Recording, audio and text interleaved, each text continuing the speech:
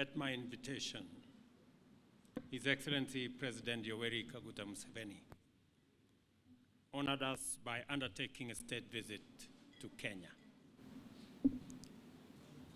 His visit underscores the profound significance we, as leaders, attach to the bilateral relations between Kenya and Uganda and to our shared commitment to further develop and grow our relations.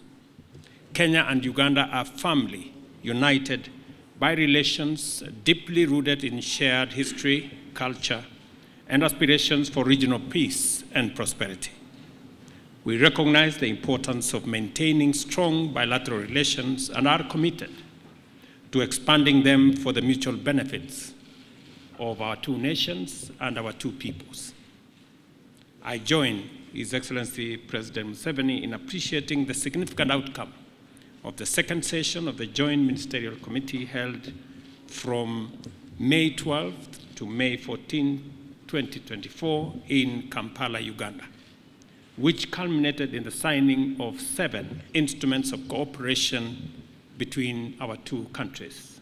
Consequently, we now have a memorandum of understanding to anchor cooperation between our foreign services institutions which ensure knowledge exchange and harmonization of structures and content of diplomatic training.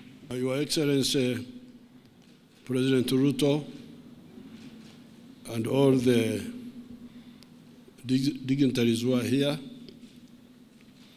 as you heard, His Excellency summarized what we have agreed the, the, the agreements, the protocols. Uh, I don't want to repeat those.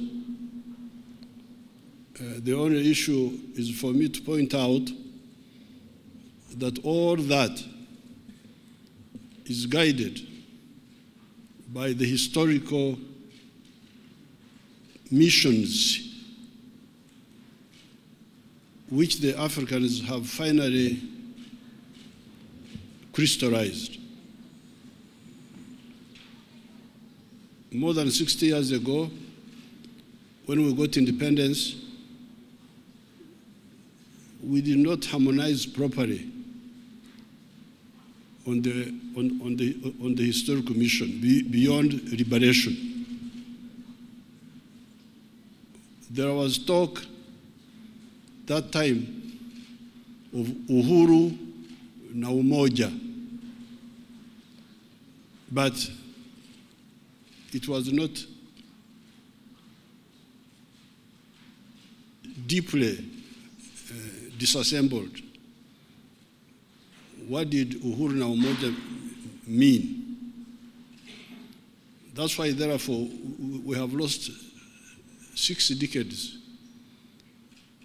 And as you can see in Africa, we have got so many uh, problems. The collapse of state authority in so many countries. This is not accidental. This is really, uh, uh, this was inevitable and it was predictable. This is the only way not to leave anybody behind. Uh, and to, rem- to remove the irrationality. You, you look at, at Africa. Africa really is amazing. And Latin America. Because Africa is one house, one building. Now, the sitting room is another country. The bedroom is another country. The other one is another country. Now, to go from the, the bedroom to the, to, to, to, to, to the outside, you must go through another country. You must go get a visa. You must get. What's this now? Eh? Uganda is part of Kenya and part of Tanzania and part of DRC. But we are in the, we are in the bedroom there.